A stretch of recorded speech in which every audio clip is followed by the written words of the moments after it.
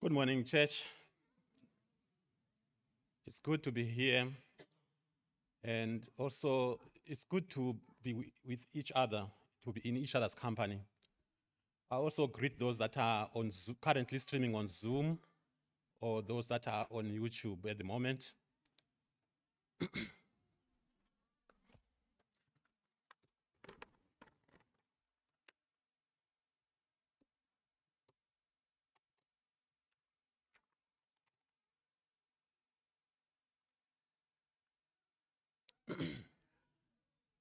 As we know, uh, all of us, uh, this week we are celebrating Easter, which perhaps on, a, on our Christian calendar is a very important time in our, on our Christian walk. And as we reflect, we know that Christ was crucified and that he died and that he was buried. And on the third day, he resurrected. So today, my lesson is going to focus more importantly on the resurrection. As we all know, during the ministry of Jesus, there were a number of important things that he did. Amongst them is that he healed those who were sick, he fed some of them, he fed the 5,000, if you remember. He did some amazing things. He walked on water. He raised people from the dead. Lazarus, to be particular. But I think one of the defining moments of his ministry was his cruci- crucifixion, his death on the cross, his burial, and indeed his resurrection. And these three actually define who we are today.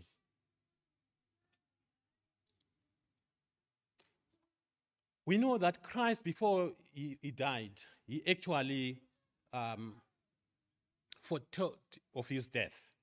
So if we open on uh, oh, uh, a verse in Mark chapter 9, verse 32 to 30, uh, 30 to 32, it says, They went on from there and passed through Galilee, and he did not want anyone to know, for he was teaching his disciples, saying to them, The Son of Man is going to be delivered into the hands of men, and they will kill him. And when he is killed, after three days, he will rise. But they did not understand the saying, and they were afraid to ask. I, can imagine if it was myself, knowing that, yeah, this is going to happen to me. I'm not too sure how I was going to behave. But he was aware, he knew that was, that was part of God's plan. But, and even if he told his disciples, they didn't understand.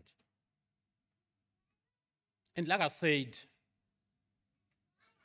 the reason we are today, we are here today as brothers and sisters in Christ is because of what he did on the cross. It is so important that it does form the foundation of our Christian faith. We wouldn't be here today if it wasn't for Christ. We wouldn't be here today if Christ had not died. And more importantly, we wouldn't be here today if he had risen. If you read uh, uh, the, the, the uh, 1 Corinthians 15, verse 3 to 4, which Dennis did uh, read part of it, uh, Paul says, I delivered to you as of the first importance what I also received from Christ, uh, what I also received that Christ died for our sins in accordance of the scriptures. Of the first, first importance, I've underlined that word. That was so important that he had to do that.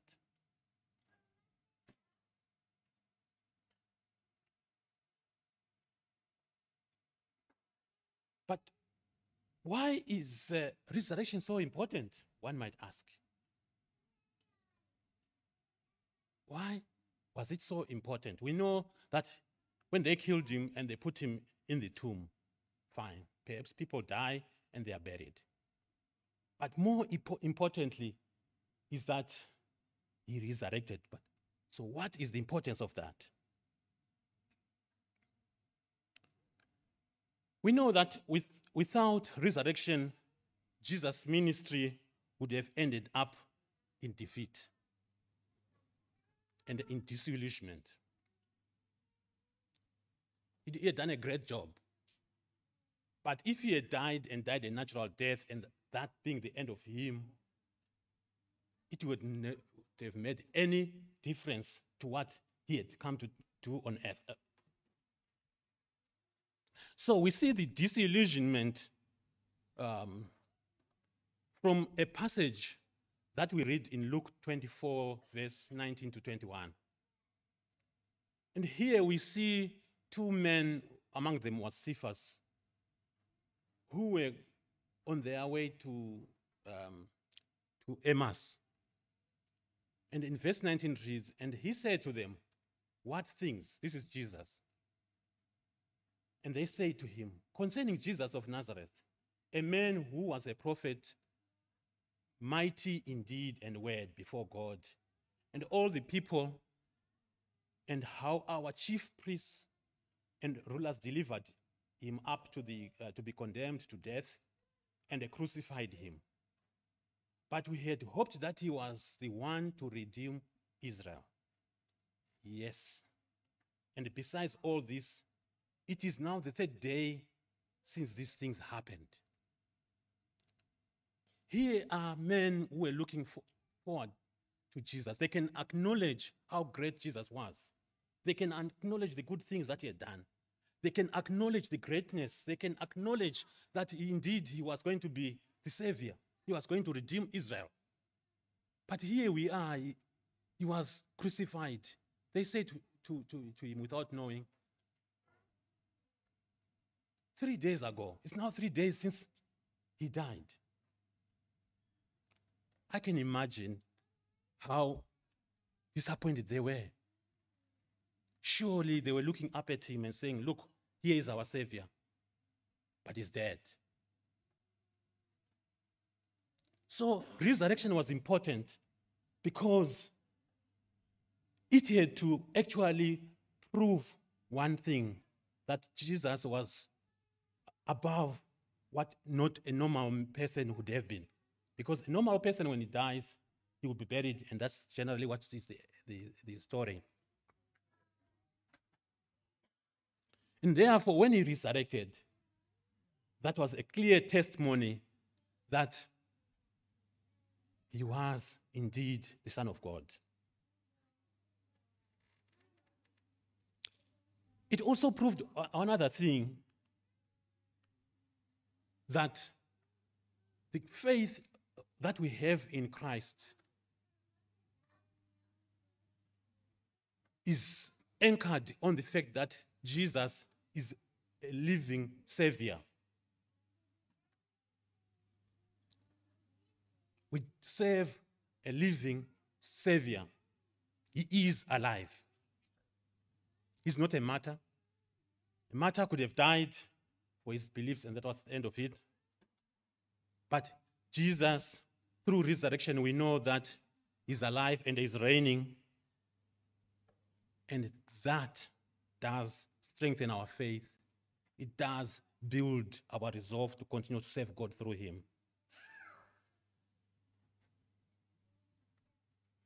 And just to sort of uh, add to that, in First Corinthians 15, again, the passage which Dennis read to us, 15, uh, uh, chapter 15, verses 17 to 19.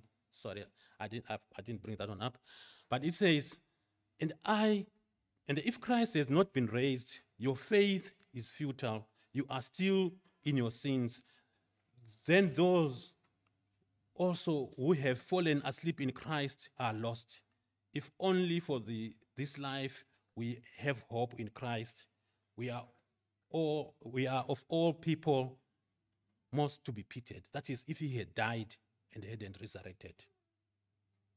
The other important thing too that we can also see from the resurrection of Christ is that resurrection signified victory over sin. Through resurrection, Jesus overcame, uh, conquered death and overcame sin. And those who are baptized through him are forgiven of their sins. This is again alluded in uh, 1 Corinthians uh, 15, uh, 56 to 57, where Paul says, The sting of death is sin, and the power of sin is the law. But thanks be to God who gives us victory through our Lord Jesus Christ, because Jesus uh, overcame death, uh, over, uh, sorry, overcame death, victory over sin was achieved.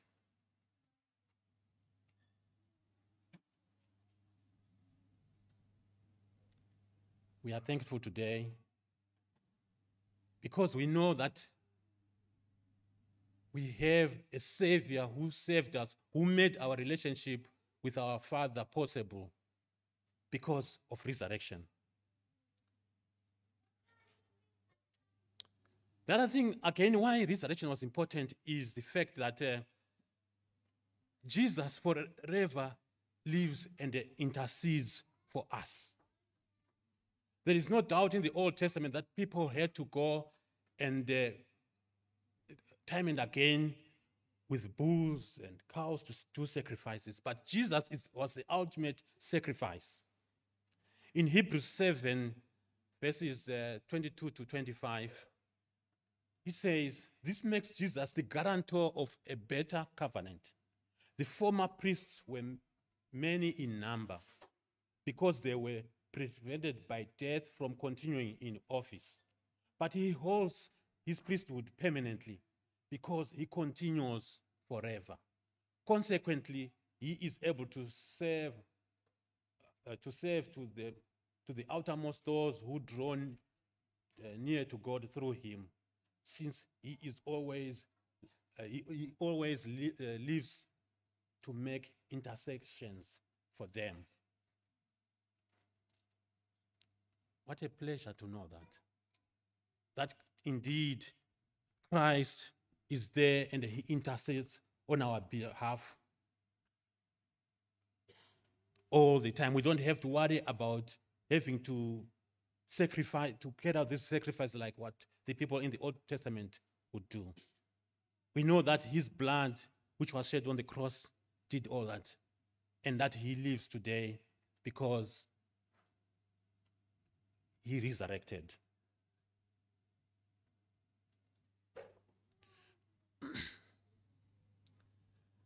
now, at this juncture, one might ask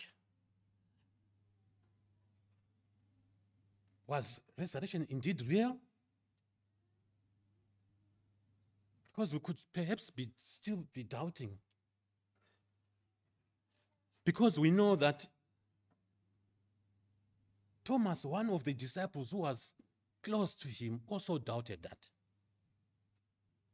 In John 20, 24 to 25, he says, Unless I see the marks in his hands and put my fingers where the nails were and put my hand into his side, I will not believe. I will not believe. What more us who live today here was a man who was with him time and again. But he says, I wanted to, I want to see the, uh, the holes where the nails went through. I need to see the sides where the spear went through so that I can believe. Already in the passage read to us this morning, we read about a number of witnesses that actually saw Jesus being alive after he had resurrected. We heard about Cephas. He also appeared uh, um, be before the 12 disciples and more than 5,000 other people. We heard about the two men going to Emmaus he also appeared before James and then to Paul as well, like from what we heard from the passage read to us.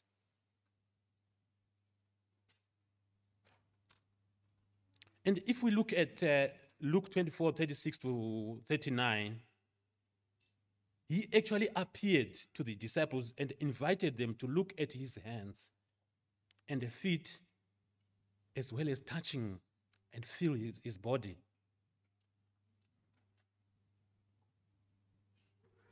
In Luke 24, verses 41 to 43, he even was given a piece of fish which he ate. And eight days later, we read, in, uh, we read that he actually entered a room where his disciples were and where Thomas was. And they said, Put your finger here and see my hands. Reach out your hand and put in, uh, it into my side. And he says, Stop doubting and believe. This he was, take, uh, he was uh, telling Thomas.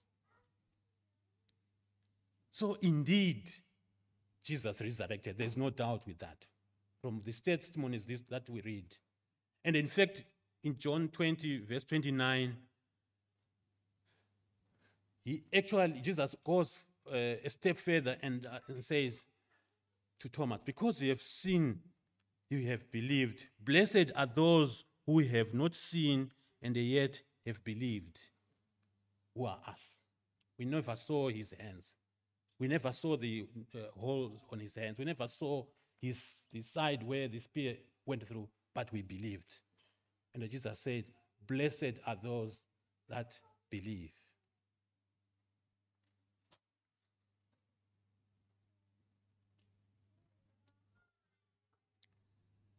The next question that I might bring to us who are seated here today is but what does the resurrection of Christ mean to me as an individual? I think that's a, a very important question that we use this time that we have today as we commemorate Easter Sunday. What does it mean to me? What does it mean to you? What does it mean to us as a congregation?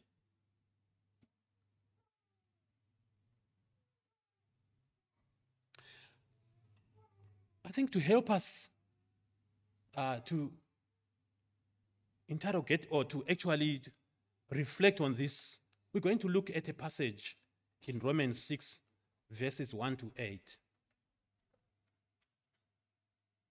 And this is Paul writing. What shall we say then? Are we to continue in our in sin that grace may abound? Should we continue sinning? By no means. How can we who died to sin still live in it? Do you not know that all of us who have been baptized into Christ Jesus were baptized into his death? We were buried, therefore, with him by baptism into death, in order that just as Christ was raised from the dead by the glory of the Father, we too might walk in the newness of life. What a profound passage it is. I think all of us will agree that, as I said, resurrection, his death, his um, burial, and resurrection form the basis of our faith. Paul does ask an important, uh, uh, an important um, question here. Shall we continue to sin, therefore? And the answer is definitely no.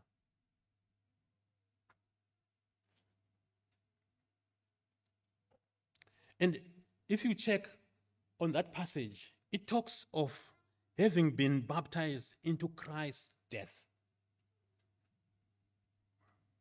We were baptized into Christ's death.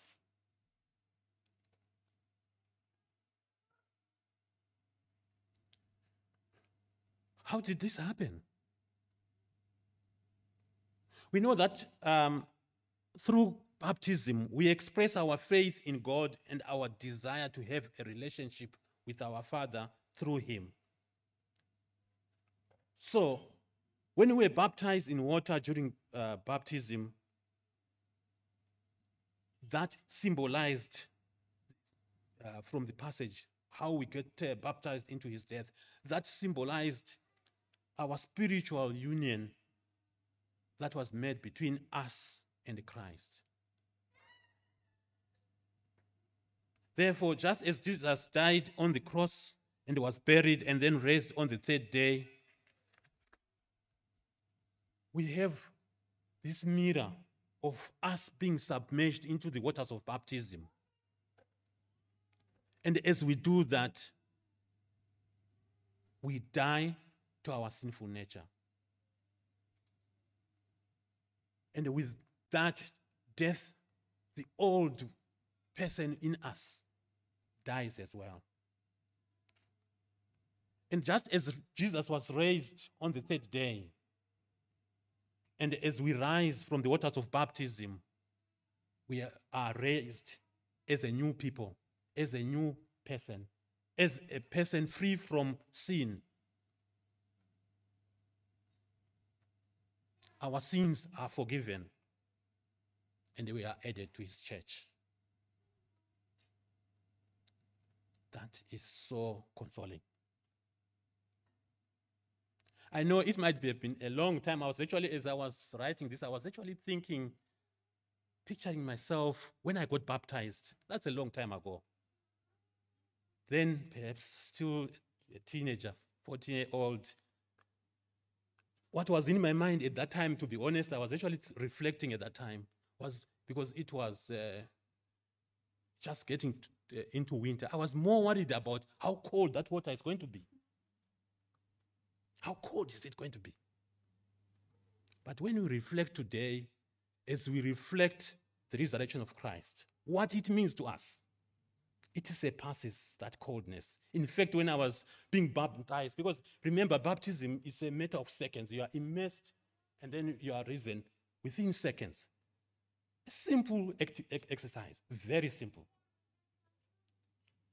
But the significance that lies behind that is so huge.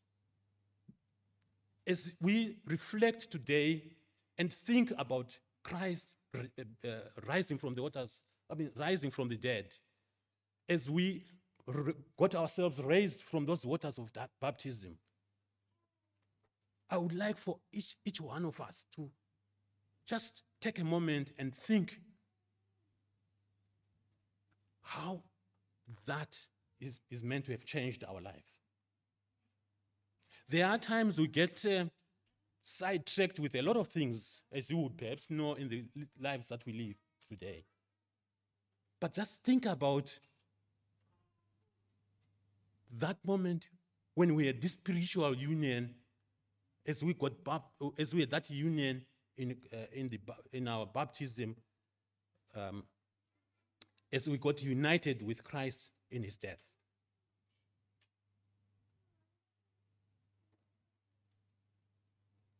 I think what is also um, one of the things that I considered as well as important is to actually rejuvenate myself, which I hope you will, you will as well as a Christian, just to say this journey is not just a journey which is like any journey that we have traveled, but it's an important journey as it leads us to eternal life. The hope that we get through having Christ in our life is so immense. And it re energizes us. So, as we live today, perhaps the most important thing that I would like for us to take as we go home or as we do our things in the coming days is to remember how we should be rejuvenated as we think of Christ being raised from the dead. Let us set our minds on the things that are above, as the writer in, uh, Paul says um, uh, in Colossians 3, verse 1 to 4. Let's not be sidetracked of the things we know we have gone through numerous challenges. Perhaps the most important, the most distant one is the, this pandemic. It can drag us and put us away and drag our efforts. But above all, I implore you to remember what is important. Like what Paul said, what is of first importance? It is that life eternal.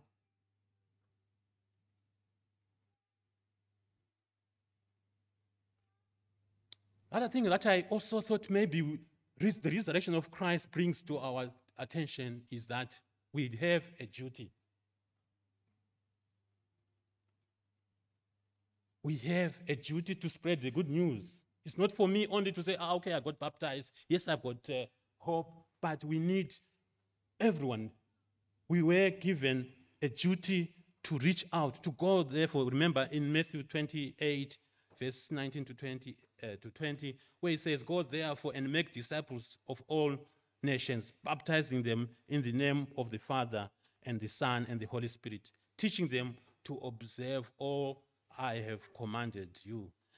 And behold, I am with you always to the end of time. That's an important task that we need to take along. And above all, let us remain faithful, doing his job, being an example to the world, to say, someone who has been uh, someone who has been added to say, how do we live? How do we behave? How do we talk to each other, showing that love?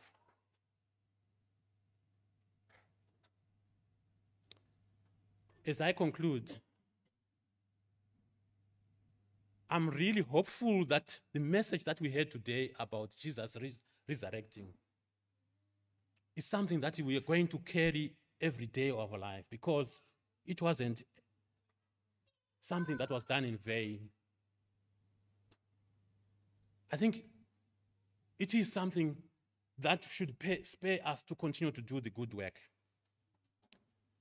And if there's anybody who hasn't been baptized before, I also implore you to use this opportunity to take notes from this lesson here.